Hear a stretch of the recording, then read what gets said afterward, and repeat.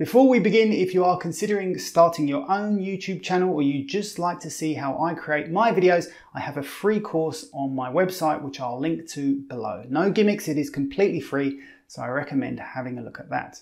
Okay, on with today's video. To download your Google Photos to your iPhone, simply open the Google Photos app. Click on the Photos icon in the bottom menu and select everything by dragging your finger across all your photos in your list.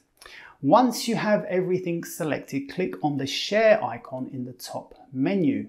Choose share to device and your photos will begin to download. Be patient because depending on how many photos and videos you have to transfer, this process can take some time. Once finished, you'll receive a notification that everything was saved to your camera roll. And if we go into our Photos app, there we can see all our photos and videos are downloaded to our phone. If you found the video useful, I'd appreciate you giving me a like and hit subscribe for lots more quick, useful tips like this one. And don't forget to check out my free course by clicking on the link below. Until next time, thank you very much for watching.